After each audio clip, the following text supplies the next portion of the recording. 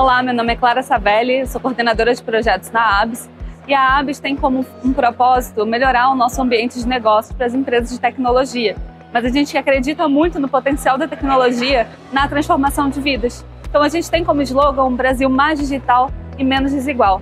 E para conseguir atender esse objetivo, a gente tem uma série de atividades dentro do ramo de SG, que é Environmental, Social and Governance, ou seja, meio ambiente, social e governança, é, para tentar atender e melhorar esse ambiente é, brasileiro e é, potencializar o desenvolvimento das pessoas e é, diminuir as desigualdades.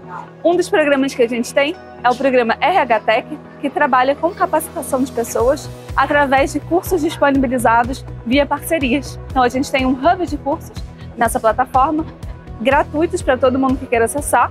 E também temos um hub de vagas, onde a gente incentiva os associados a cadastrarem suas vagas abertas e também é, a quem está fazendo esse processo de capacitação para o mercado colocar seu currículo.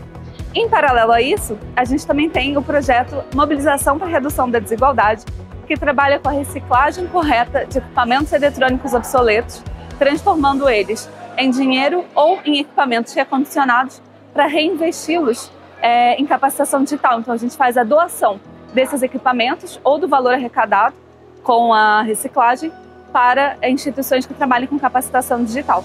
Então a gente tenta fechar né, dois problemas com esse, é, com esse programa, tanto o descarte correto dos equipamentos, quanto a inserção de mais pessoas no nosso mercado, porque a gente tem um gap bem grande de mão de obra é, necessitada no Brasil e no mundo.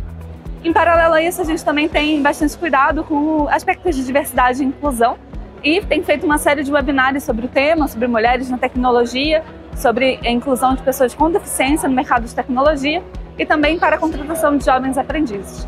Hoje a gente tem uma realidade de pessoas com deficiência, onde mais de 18 milhões de pessoas do Brasil são portadoras de deficiência, mas que têm pouquíssima entrada no mundo tecnológico e no mundo de trabalho como um todo. Então, como associação, também é nossa, nosso dever e nossa parte abrir portas para que a gente tenha um mercado mais diverso, mais inclusivo para pessoas com deficiência, para mulheres ou para qualquer outro tipo de minoria que hoje exista no nosso país.